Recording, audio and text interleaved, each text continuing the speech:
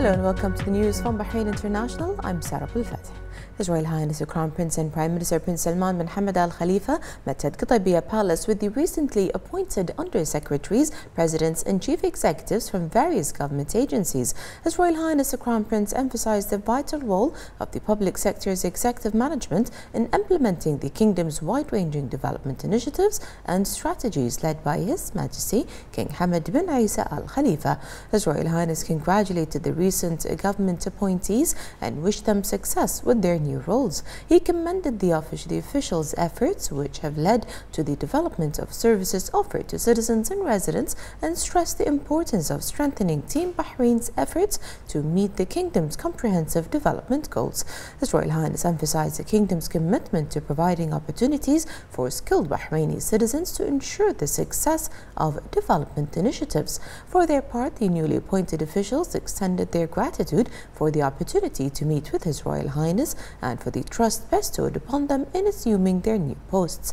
The officials also highlighted His Royal Highness's continued support to the kingdom's workforce. The newly appointed officials concluded by expressing their commitment to achieving the kingdom's comprehensive development goals that benefit Bahraini citizens and residents. The Deputy Prime Minister and Minister for Infrastructure, Sheikh Khalid bin Abdullah Al Khalifa, and the Minister of Cabinet Affairs, Hamad bin Faisal Al Malki, also attended the meeting.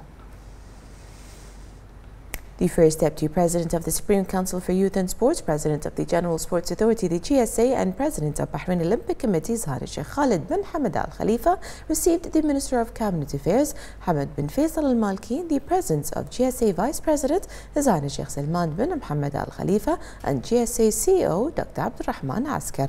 His Highness Sheikh Khalid congratulated Al Malki on his appointment as Minister of Cabinet Affairs, wishing him success in carrying out his duties. His Highness reviewed GSA's vision and plan to develop sports in Bahrain, hailing the government's inclusion of the sports sector in the social services access as part of its initiatives for the government's work program for the next phase, which contributes to supporting the sports sector, which also receives the support of His Majesty King Hamad bin Isa Al Khalifa, based on His Majesty's visions to support national talents and energies within the framework of the Comprehensive Development March. They also discussed ways to enhance cooperation and coordination in various sports-related matters. For his part, Al Malki expressed appreciation for the efforts led by His Highness Sheikh Khalid to contribute to the development of sports in Bahrain, which has made notable achievements during the recent period, stressing the keenness to support the sports sector to achieve further gains in this field. The first Deputy President of the Supreme Council for Youth and Sports, President of the General Sports Authority, the GSA, and President of Bahrain Olympic Committee, Sani Sheikh Khalid bin Hamad Al Khalifa, received at his office in Al Wadi Palace the CEO of the Urban Planning and Development Authority, the UPDA, Engineer Ahmed Abdulaziz Al Khayat, in the presence of the Vice President of GSA, Sani Sheikh Salman bin Mohammed Al Khalifa, and the CEO of GSA, Dr. Abdurrahman Askar. Sani Sheikh Khalid congratulated Engineer Ahmed on the Royal Trust through his new appointment, wishing him success in performing his duties. His Highness discussed the developmental projects of the sports infrastructure and their inclusion in urban development plans to conform to the adopted standards and conditions, especially with regards to sports establishments. His Highness Sheikh Khalid affirmed the necessity for continuing to coordinate and cooperation between the GSA and the UPDA to fulfill the requirements of the youth and sports sector development and to prepare modern establishments and facilities to hold various activities and initiatives to develop this vital sector.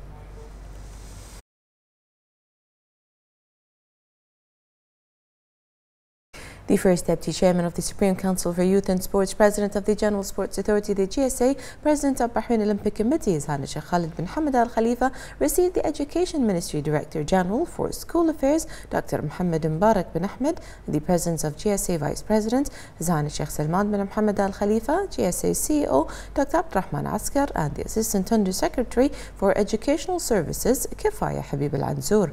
His Highness directed the Joint Committee between GSA and the Ministry of Education Association to study the possibility of developing school gymnasiums in coordination with the Ministry of Works. This is an implementation of the directives of the representative of His Majesty the King for Humanitarian Work and Youth Affairs, Sana Sheikh Nasser bin Hamad Al Khalifa, to enable clubs and associations to use school facilities. His Highness Sheikh Khalid also directed to start the sports school project, stressing the need to focus through the sports school on integration between applying sports activities and following up on fitness and healthy nutrition for students. His Highness affirmed the great importance accorded to developing human beings under the comprehensive reform march led by His Majesty King Hamad bin Isa Al Khalifa. His Highness added that the development programs targeting all sports aspects reflect the keenness on investing in national potentials. He also asserted the need to continue developing these school sports programs. His Highness pointed out that the role of school sports goes beyond physical aspects and fitness, as sports can contribute to improving academic performance levels by enhancing a sense of competitiveness and teamwork. For his part, the Director General of Schools Affairs expressed thanks and appreciation to His Highness for his interest and follow-up on aspects related to school sports, stressing that work will begin immediately to open the way for clubs and associations to use school facilities. He pointed out that the Bahraini Sports Federation for Schools and Universities, for which His Highness issued an edict to expand its scope to include schools last year, constitutes one of the foundations for developing school sports in a comprehensive manner.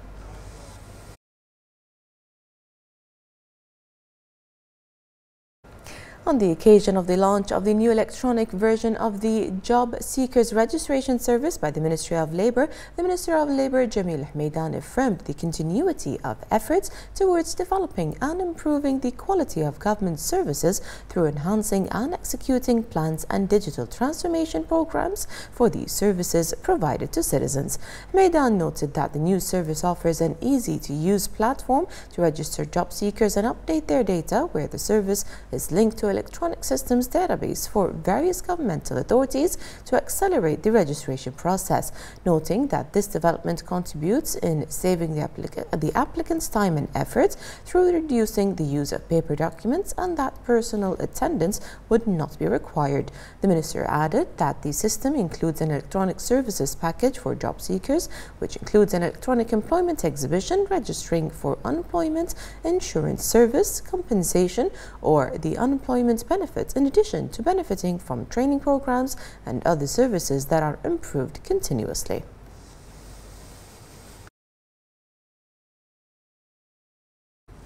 The President of the Electricity and Water Affairs Authority, EWA, Engineer Kamal bin Ahmed Mohammed, announced the launch of the fixed system of the electricity and water bill that allows subscribers to choose a flexible and fixed bill. The President added that the system comes as part of the developmental initiative package on which EWA is working in order to offer the best services and solutions for its subscribers and ensure the provision of sustainable services with the highest quality. Kamal bin Ahmed noted the system's contribution to the organization of the payments and consumption process, which is considered an optional service that allows all subscribers to choose a monthly fixed bill all year round based on the actual average consumption for the last 12 months. The option will ensure no electricity disconnection throughout the year. A press conference was held by the Minister of Housing and Urban Planning, Amna Romaihi, to announce the new housing finance program approved by the Cabinet, chaired by the Crown Prince and Prime Minister. Romaihi stated that the types and privileges of financing services have been expanded to be added to the previous financing, namely purchase financing, construction financing, restoration financing, and the Mazaya program, which has been expanded according to the new financing programs. She also announced the addition of uh, the addition of the Tas'heel program, which provides three new financing options. She affirmed the keenness to continue drafting innovative solutions for housing by strengthening partnership with the private sector to play a key role in providing housing services to citizens to support the objectives of the Comprehensive Development March. She noted that all necessary measures have been taken to start receiving housing applications for financing.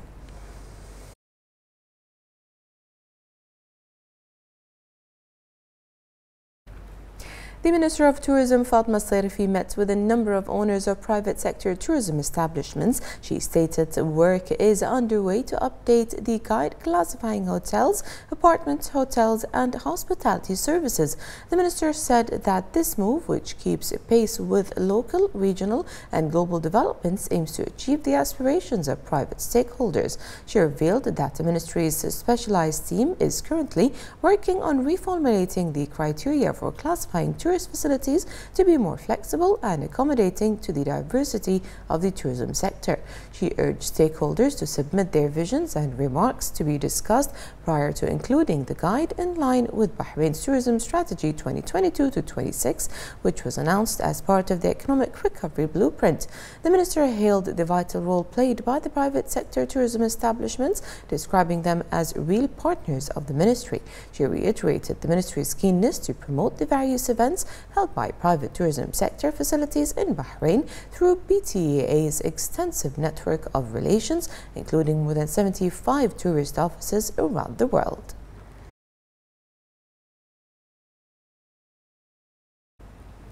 The Minister of Information Affairs, Dr. Ramzan bin Abdullah Nuaimi, inaugurated the sessions of the Innovators Lab organized by the Ministry of Information Affairs for three days at the ministry's headquarters, with the participation of a group of media caterers representing the various directorates of the ministry.